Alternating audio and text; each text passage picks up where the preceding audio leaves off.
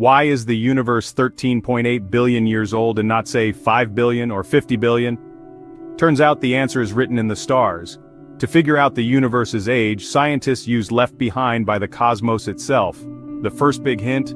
The oldest light we can see, the cosmic microwave background. It's like a baby picture of the universe, frozen in time just 380,000 years after the Big Bang. Next, we look at the stars. The oldest stars in our galaxy, called globular clusters, are about 13 billion years old. But here's the kicker. The universe has to be older than its oldest stars. Makes sense, right?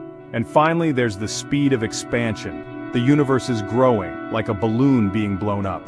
By measuring how fast it's expanding today and rewinding the clock, scientists can calculate when it all began.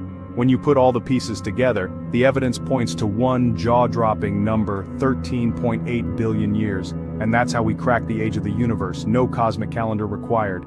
Please like, share and subscribe to the Unsolved Universe.